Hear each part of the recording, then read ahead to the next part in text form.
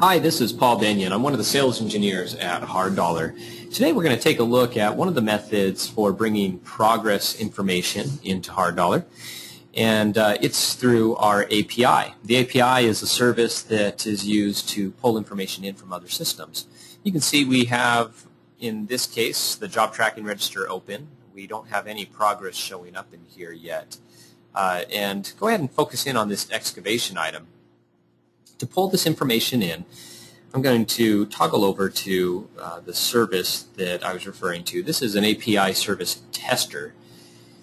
Basically, uh, this service would be running in the background and it can be scheduled so that it uh, runs at a uh, automatically on its own at a, at a particular time, maybe in the middle of the night. And the idea is that you could pull progress information into hard dollars, such as actual cost, actual man hours, equipment hours, quantities completed, really whatever you need to pull in. A lot of times this is used to pull actual costs uh, back into hard dollar from, say, SAP, JD Edwards, Oracle.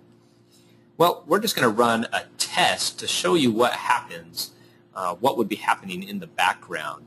Um, so as I'm, I'm just going to pull this down so we can see the view up above in hard dollar. And when I hit this test button, you'll notice that it will then have progress information that automatically comes into hard dollar. And again, that can be on a scheduled basis.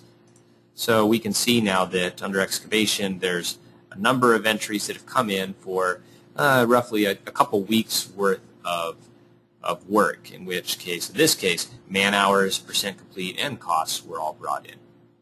So this API is a great service uh, that can that can be used to integrate hard dollar, truly integrate uh, with really any other system, third party kind of system. So thanks a lot, and we'll talk to you next time.